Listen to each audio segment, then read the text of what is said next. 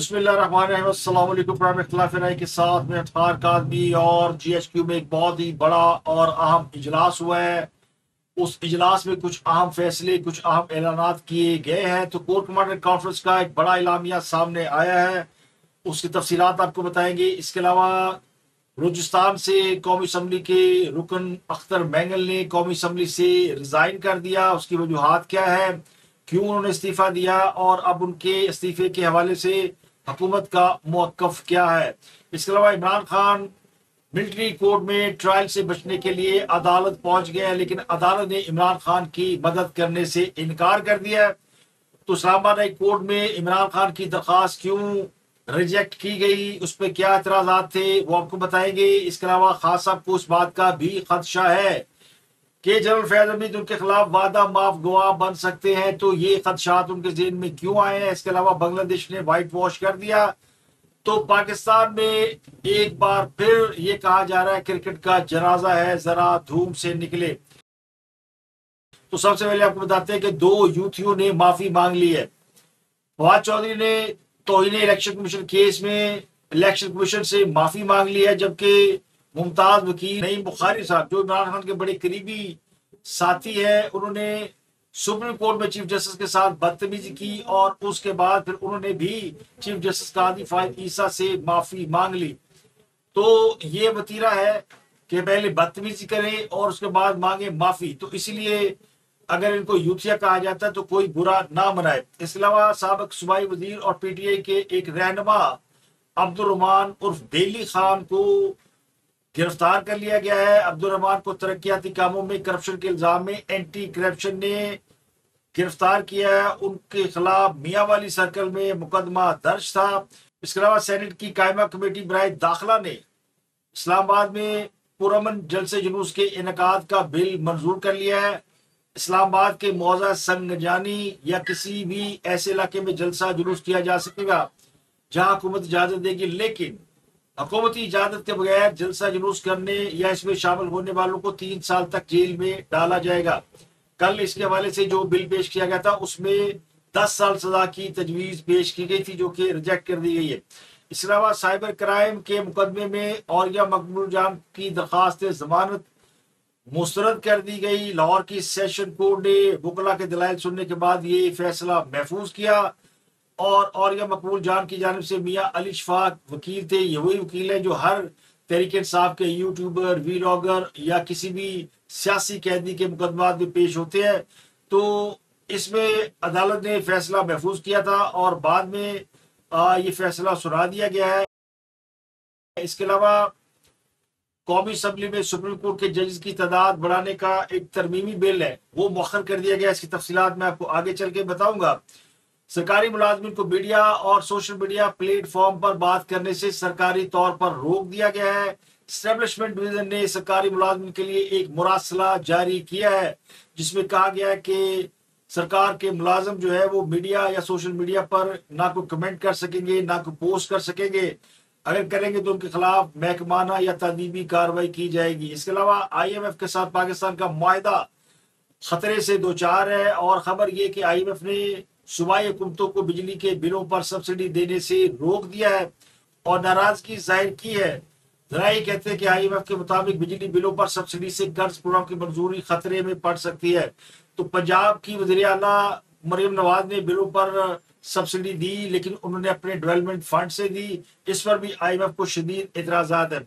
इसला इस्लामाबाद आज मैदान जंग बना रहा। पीडब्ल्यू डी के मुलाजमीन से दफ्तर खाली कराने के लिए पुलिस ने कार्रवाई की। जिस पर पीडब्ल्यूडी के मुलाजमीन और पुलिस में झड़पें हुई, आँसू, गैस लाठी चार्ज शेलिंग किया गया। हुकूमत ने पीडब्ल्यूडी का महकमा बंद करने का ऐलान कर रखा है और दफ्तर खाली कराने के लिए सरकारी तौर पर जो कार्रवाई की गई, उसमें बहुत से आम लोगों को गिरफ़्तार किया गया, जिनमें रहमान बाजवा, सैफ अलवी, निशान शाह, सलीम शहजाद और दीगर लोग शामिल हैं। अजराय कहते हैं कि पुलिस के साथ मुजाकरा जारी है। और मुलाजमीन ने कहा कि हमारे रहनुमाओं को रिहा कर दे तो हम एहतजाज खत्म कर देंगे। तो सबसे पहले बात करते हैं इमरान खान साहब की। सबक वजी इमरान खान को जेल में तीन सौ छियानवे दिन हो गए और अब उनके लिए एक एक दिन भारी हो गया। ये ऐसे ही होता है जब कोई क्रिकेटर सेंचुरी के करीब पहुँचता है तो वो नर्वस नाइन्टीज का शिकार होने लगता है तो लगता है कि इमरान खान साहब भी नर्वस 400 का शिकार हो रहे हैं। अब उनका जेल में एक एक पल जो है गुजारना मुश्किल हो रहा है, भारी हो रहा है और वो इस्लामाबाद हाई कोर्ट चले गए और वहाँ उन्होंने एक दरखास्त दायर की है कि सबक D G I C general Faiz उम्मीद उनके खिलाफ वादा माफ़ गुआ बन सकते हैं, उनका केस मिलिट्री कोर्ट में ले जाया जा सकता है तो उसको रोका जाए। तो इस्लामाबाद हाई कोर्ट में जो दरखास्त दायर की गई है, उसमें सेक्रेटरी कानून, सेक्रेटरी दाखिला I G I G Punjab, I G Islamabad G F I A सबको दरखास्त में फ्री बनाया गया। दरखास्त में ये इस्तः की गई है कि इमरान खान को फौजी तहवील में देने से रोका जाए और यकीनी बनाया जाए कि इमरान खान, यानी सबक वजी आज़म, सिविल अदालत और सिविल तहवील में रहे। तो उनकी इस दरखास्त पर इस्लामाबाद कोर्ट ने एतराज़ात लगाकर ये दरखास्त उनके हाथ में वापस थमा दी है। अब इस्लामाबाद कोर्ट के रजिस्ट्रार ऑफ़िस ने इमरान खान की दरखास्त पर जो एतराज़ात लगाए हैं, उसमें ये कहा है कि किसी भी मखसूस एफ़ आई आर का हवाला दिए बगैर अमूमी रिलीफ कैसे मांगा जा सकता है? दरखास्त के साथ कोई ऑर्डर या दस्तावेजात नहीं लगाई गई। अगर किसी ने उन्हें मिलिट्री तहवील में जाने का हुक्म दिया तो उसका हुक्मनामा मौजूद होना चाहिए। तो सिर्फ़ खदशात की बुनियाद पर यह दरखास्त दायर करना, और फिर उन्होंने ये भी कहा कि मुकदमात पंजाब में है, दरखास्त अब इस्लामाबाद हाई कोर्ट में दायर कर रहे हैं। और अगला जो इतराज आयद किया गया है, वो ये कि फौजी अदालतों का मामला सुप्रीम कोर्ट में जेर अल्तवा है। तो फिर लाहौर हाई कोर्ट तो फिर इस्लामाबाद हाई कोर्ट में दरखास्त कैसे दायर हो सकती है?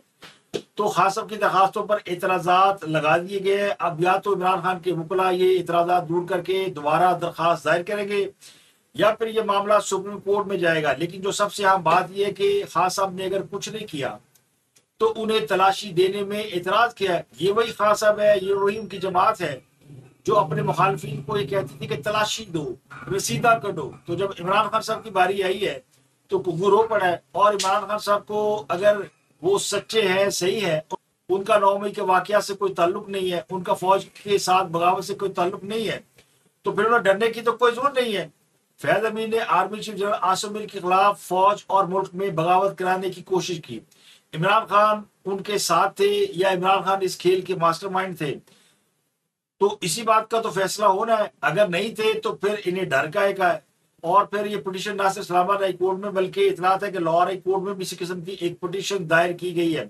उनके वकील ये कहते हैं कि इमरान खान को खदशा है कि उन्हें मिलिट्री कोर्ट में ले जाया जाएगा। तो मेरा गुमान ये कि उन्हें खदशा नहीं उन्हें यकीन है बल्कि यकीन नहीं उन्हें इल्म है कि उनका केस मिलिट्री कोर्ट में ट्रायल होना है। इसलिए तो खासब हाथ पाव मार रहे हैं। और इसलिए तो खासब कहते हैं मैं पहले ऑक्सफोर्ड का इलेक्शन लड़ू और अगर मैं वो इलेक्शन जीत जाता हूँ तो मैं आराम से बाहर निकल जाऊँगा। और एक दफ़ा जेल से निकल गया मुल्क से निकल गया तो फिर आ, कौन सा मिलिट्री कोर्ट और कौन सी उनकी वापसी होनी है? तो इसलिए खास सब हाथ पाँव मार रहे हैं। लेकिन उनके वकील कह रहे हैं कि इमरान खान जो है वो ये भी कह रहे हैं कि जो हमारे दीगर मुकदमात है, नैब का केस है मखसूर नशिस्तों का केस है, वो सब रुके हुए हैं। उनको फौरी तौर पर उनके फैसले आने चाहिए। इमरान खान साहब ने अपने वकील को कहा कि कोशिश करें कि ये केस जो है वो फौरी तौर पर लग जाए। लेकिन उनके वकील ने बताया कि इस्लामाबाद हाई कोर्ट ने तो उनकी दरखास्त एक्सेप्ट की एतराजात लगा दिए तो उसका मतलब है इस केस को, बुद्ध को तो एंटरटेन नहीं किया जा सकता। तो अब मामला जाएगा उससे अगले दिन। तो हाँ साहब को खदशा कोई नहीं है, उन्हें यकीन है कि उन्होंने बारी आ गई है और मिलिट्री कोर्ट में अब उनका जो है बोलो राम होने वाला है। इसके अलावा कोर कमांडर कॉन्फ्रेंस हुई। ये बहुत बड़ी कॉन्फ्रेंस होती है, जिसमें तमाम जो कोर कमांडर्स हैं, फौज की जो आला क्यादत है, वो बैठती है और मुल्क की सूरत हाल का जायजा लेती है। आपको पता पिछले दिनों जनरल फैज अमीद को गिरफ़्तार किया गया, जो कि डी आई एस आई थी और पाकिस्तान की तारीख में बहुत कम ऐसा होता है। कि इतने आला अहदे पर बैठे हुए शख्स के खिलाफ फौज के अंदर कोई कार्रवाई होती है। तो उसी हवाले से अब इस कॉन्फ्रेंस के अंदर भी ज़िक्र किया गया, फिर बलूचिस्तान की सूरत हाल को भी डिस्कस किया गया। तो फौज ने कैटेगोरिकली ये बता दिया है कि फौज एक मुनजम इदारा है, जिसके हर शख्स की वफादारी मुल्क और फौज के साथ है। किसी को भी एहतसाब से इस्तना हासिल नहीं है। तो ये जो तीन जुमले हैं, ये तीन जुमले बताते हैं कि फौज जो है वो क्या कर रही है, क्या करने जा रही है, फौज क्या चाहती है और फौज क्या करने वाली है। तो एहतसाब से किसी को इससे नहीं तो इसका मतलब है कि जनरल फैज अमीनी उनके अलावा और भी लोग इसमें इन्वॉल्व होंगे तो पकड़े जाएँगे, क्योंकि मामला है एहतसाब का, फौज इसको स्पेयर नहीं करेगी। और कोर कमांडर्स को जो बता दिया गया है कि इस मामले में किसी को इस्तना नहीं है, चाहे वो एक्स आर्मी चीफ क्यों ना हो? फिर ये बताया गया कि लॉयल्टी इज़ मोस्ट एसेंशियल तो जिन लोगों की फौज के साथ वफादारी नहीं है, जिन्होंने फौज के अंदर बगावत कराने की कोशिश की, जिन्होंने सान है नौ मई कराया, उनको भी माफ़ी नहीं मिलनी। तो ये उनके इलामिया की मैंने आपको ट्रांसलेशन की है, जो एक्चुअली उनका इलामिया है।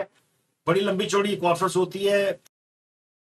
तो आर्मी चीफ जनरल आसम की जेर सदारत जो कोर कमांडर कॉन्फ्रेंस हुई है। उसमें बड़ा कैटेगरी बता दिया गया उन्होंने कि एहतसाब जो है, वो इदारे के इसकाम के लिए लाजम है। कोई भी फर्द इससे भारत और मुस्तना नहीं कोर कमांडर कॉन्फ्रेंस में ये कहा गया है कि पाक फौज दहशत गर्दों, इंतशार पसंदों, जराइम पेशा माफिया के खिलाफ ज़रूरी कानूनी कार्रवाई करने में हुकूमत इंतजामिया और कानून नाफज करने वाले इदारों को जामिया ताउन फराहम करती रहेगी। तो इसमें वो सारे लोग, शामिल लोग हैं जो कि पाकिस्तान की रियासत की जड़ें खोद रहे हैं, पाकिस्तान की रियासत के खिलाफ साजिशें कर रहे हैं। चाहे वो इंतशार पसंद हो, चाहे वो बाकायदा दहशत गर्द हो, चाहे वो कोई माफियाज हो। तो मैंने आपको बताया था जो स्मगलिंग माफिया, ये जो डॉलर माफिया, ये भी रियासत के खिलाफ सरगर्म में अमल है और बड़े पैमाने पर पैसे खर्च कर रहा है। तो फौज का जो इलामिया बड़ा क्लियर और दो टोक अल्फाज में सामने आया तो जो लोग ये समझते हैं कि जनरल फैज अमीन बच जाएँगे, उनके खिलाफ कोर्ट मार्शल नहीं हो रहा, बल्कि वो आँखों में धूल झोंकने के मुतरदफ है। क्योंकि बाद लोग ये कहते हैं जी फैज अमीन तो आराम कर रहा है। फौज ने सिर्फ़ इमरान खान को डराने के लिए ये कुछ किया अगर ये सिर्फ़ डराने के लिए किया होता तो इमरान खान साहब की दौड़े ना लगी होती। और वो अदालतों में जा जाके दरखास्तें ना दायर कर रहे होते कि मुझे मिलिट्री से बचाए, मुझे फौज से बचाए। अगली खबर जो है वो सुप्रीम कोर्ट के जजों की तादाद के हवाले से एक बड़ा हॉट इशू है। इसकी अपडेट देना बड़ी लाजमी है। मुस्लिम लीग नून के रहनमा दानियल चौधरी ने सुप्रीम कोर्ट के जजों की तादाद तेईस करने का बिल कौमी असम्बली में पेश किया। तो अपोजिशन ने इस बिल की मुखालफत की और कहा कि चूँकि प्राइवेट मेंबर के बिल में सुप्रीम कोर्ट के जजों की तादाद पर कानून साजी नहीं हो सकती तो उस बिल को मौखर किया जाए।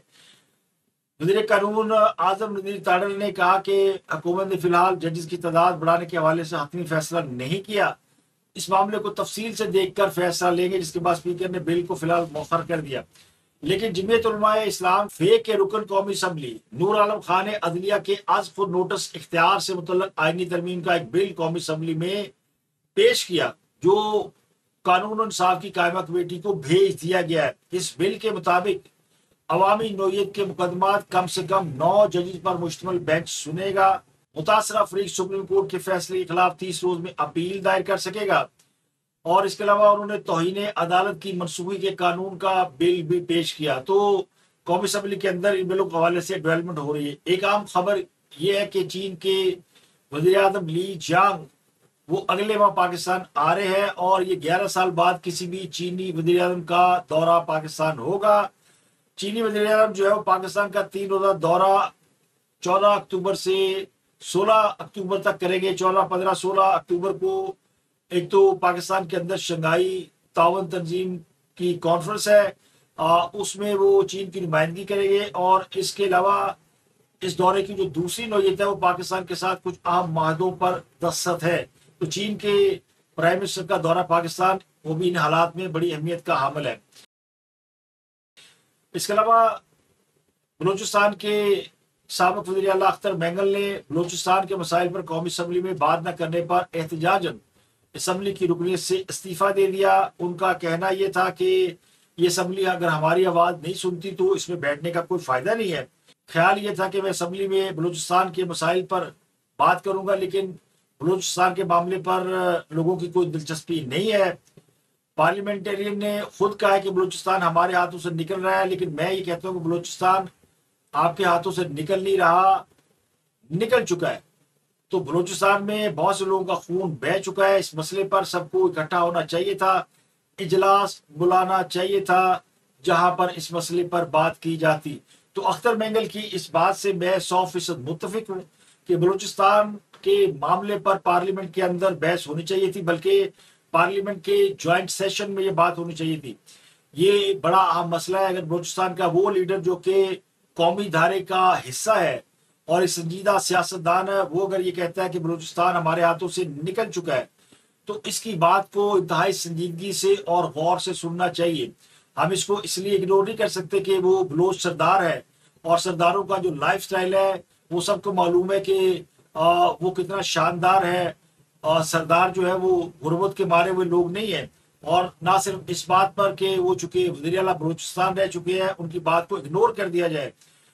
तो जिस मसले की तरफ़ वो तोजो दिला रहे हैं वो मसला बड़ा संगीन है बड़ा जेनवन है। इस पे आ, बात होनी चाहिए थी। बेशक अख्तर मैंगल लोगों को अच्छे नहीं लगते होंगे क्योंकि वो अमूमन इतराजात करते हैं।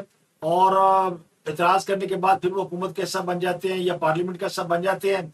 ज़्यादा देर वो नाराज़ नहीं रहते तो इसीलिए उन्हें बलूचिस्तान की एम क्यू एम भी कहा जाता है। लेकिन इसके बावजूद मैं समझता हूँ कि उनका जो मौकफ है वो दुरुस्त है और इस पर ख्वाजा साद रफीक ने ट्वीट किया और उन्होंने कहा कि अख्तर मैंगल का इस्तीफा वफाक के लिए बुरा शगुन है। इसके तहत इंतबी जमहूरी और सियासी अमल में हिस्सा लेने वाले मुस्तरद बलूच सियासतदानों का कौमी असम्बली से इस्तीफे देना ये बहुत ही खतरनाक अमल है। उनसे बात की जाए, उनका इस्तीफा वापस दिलाया जाए। इन हालात में डॉक्टर मालिक बलोच लश्करी रईसानी, अख्तर मैंगल, अब्दुल कपूर हैदरी और मौलाना हदायतुररहमान जैसे सियासतदानों का दम गनीमत समझा जाना चाहिए। और वो कहते हैं, मैंने भी कई बार इस मसले पर तजवीज दी है तो जो दिलाई है, लेकिन मेरी बात को ना सुना गया और ना पसंद किया गया। तो खुद मुसलिम नून के एक बड़े हम सीनियर रहनुमा भी इस मसले के ऊपर ये कह रहे हैं कि ये इस्तीफा वापस होना चाहिए, उनकी बात को सुनना चाहिए। खाजा आसम ने भी इस बात की तयद की और वो कहते हैं कि हाज अख्तर मैंगल की बात पे तवज्जो देनी चाहिए, उनकी बात वो सुनना चाहिए, उनका इस्तीफा वापस होना चाहिए। तो हुकूमत के जो ज़्यादातर लोग हैं, वो अख्तर मैंगल के हक में ही बयान दे रहे हैं और वो समझते हैं कि उनको इस्तीफा वापस लेना चाहिए। और अगली खबर जो है वो क्रिकेट के हवाले से है। जंग अखबार में एक दफ़ा उर्दू ज़ुबान के साथ बदसलूकी हुई तो एक लीड लगी, उर्दू का जनाजा है जरा धूम से निकले। आज हम ये कह सकते हैं, क्रिकेट का जनाजा है जरा धूम से निकले। और खुदा न हादसा अगर इमरान खान आज इस मुल्क के वजी होते तो जहाँ पर उर्दू का हर्फ है, वहाँ पर हमने क्रिकेट का हर्फ लगा दिया तो उसके बाद तीसरा हर्फ खुदा न हादसा वहाँ पे पाकिस्तान होता। तो क्रिकेट की तबाही का जो मंसूबा है वो इमरान खान का बनाया हुआ है जिन्होंने सबसे पहले डिपार्टमेंटल क्रिकेट बंद की क्रिकेट की नर्सरी को तबाह किया। उस वक्त लोग मुँह में घुंघरियाँ डाल के बैठे रहे। पाकिस्तान जो कि नेचुरल टैलेंट के ऊपर क्रिकेट की दुनिया पर राज करता रहा है आ, ये अकेडमियों का मुहताज नहीं है ये आ, किसी और चीज़ का मुहताज नहीं है लेकिन आ, लोगों को फिर भी डिपार्टमेंटल स्पोर्ट हासिल होने की वजह से आ, उनकी ग्रोथ हो रही थी। तो आज हालत ये है कि हम बांग्लादेश जैसी टीम से हार गए हैं। जो कि बहुत आउटस्टैंडिंग और बड़ी ताकतवर टीम नहीं है। हमारे मुकाबले में देखा जाए तो ये कमज़ोर टीम है। ऑस्ट्रेलिया, इंग्लैंड, इंडिया, ये तीन बड़ी टीमें हैं। इनसे अगर आप हारते हैं तो बात समझ में आती है कि मुकाबला सख्त है, उन्नीस बीस का फ़र्क है। लेकिन बांग्लादेश से हार जाना, ये तो वैसे ही हमारे लिए डूब मरने का मुकाम है। तो उसकी वजह यही थी। ये जो डिपार्टमेंटल क्रिकेट बंद हुई, उसकी वजह से आज ना हमारे पास कोई स्पिनर है, ना कोई फास्ट बॉलर है, ना कोई बैट्समैन है, ना विकेट कीपर है। हर जगह हम बहरान का शिकार नज़र आते हैं और इसकी वजह सिर्फ़ ये नहीं कि इमरान खान साहब ने ये पौधा लगाया, उन्होंने बेड़ा गर्क किया बल्कि उसकी वजह यह कि हमने उस पॉलिसी को बरकरार रखा हुआ है। तो खास की पॉलिसियों को आप जारी रखेंगे तो इसी तरह का अंजाम होगा। अब पता नहीं वो कौन बेवकूफ़ लोग हैं जो ये समझते हैं कि इमरान खान जब बन जाएँगे तो आ, पाकिस्तान बड़ी तरक्की करेगा। वो पौने चार साल पाकिस्तान के प्राइम मिनिस्टर रहे तो हर उनका जो मंसूबा है उसका अंजाम वही हुआ जो कि आज हम क्रिकेट का देख रहे हैं। तो ये तो अल्लाह का शुक्र है कि पाकिस्तान बचा लिया गया उनके हाथ से ले लिया गया। आप बना दें उन्हें पाकिस्तान का प्राइम मिनिस्टर और फिर देखे चार पाँच साल में पाकिस्तान का क्या असर करते हैं। आ, वो खाम खानी कर रहे थे जिन्होंने कश्मीर का मसला चुटकियों में हल कर दिया। और आज इंडिया हमें कह रहा है कि जनाब पाकिस्तान से हमारी लड़ाई खत्म हो गई क्योंकि लड़ाई तो कश्मीर पे थी। तो सत्तर साल से हम इस बात पर लड़ रहे थे कश्मीर हमारी शारक है। अगले ने दो मिनट में वो शारक काट के आ, कश्मीर उनके हवाले कर दिया। और पाकिस्तान को तो वो दिवालिया बनता हुआ देख रहे थे। तो वो अगर हुकूमत में होते तो उनकी ये ख्वाहिश और उनके ये इरादे खुदा नास्ता कामयाब हो चुके होते। ये तो अल्लाह ने हमें हाथ दे के बचा लिया, वरना उनके इरादे पता नहीं क्या थे। क्रिकेट में हमारा बड़ा नाम रहा है। हमने हर शोबे में कामयाबी हासिल किया और ताकतवर क्रिकेट टीम रही है। तो आप पाकिस्तान क्रिकेट टीम का कप्तान देख ले खिलाड़ी देख ले, ज़्यादातर की शक्ल में लिखा हुआ फारसी है। और ज़्यादातर जो है वो बॉडी लैंग्वेज से क्रिकेटर लगते ही नहीं। ना पता है कि ये टेस्ट क्रिकेटर है, ना पता ये वनडे के खिलाड़ी है, ना पता ये ट्वेंटी ट्वेंटी के खिलाड़ी है। तो भानुमति का एक कुंभा है। और जो लीडर है आप सिर्फ़ उसकी शक्ल देख ले। उसकी शक्ल पे बारह बजे होते हैं। तो ऐसे खिलाड़ियों को आ, जब आप टीम सौंपेंगे तो फिर रिज़ल्ट यही रहना ना। बांग्लादेश ने स्पिनर की मदद से मैच जीता है और हमारा कप्तान कह रहा है हमारे पास फास्ट बॉलर कम था।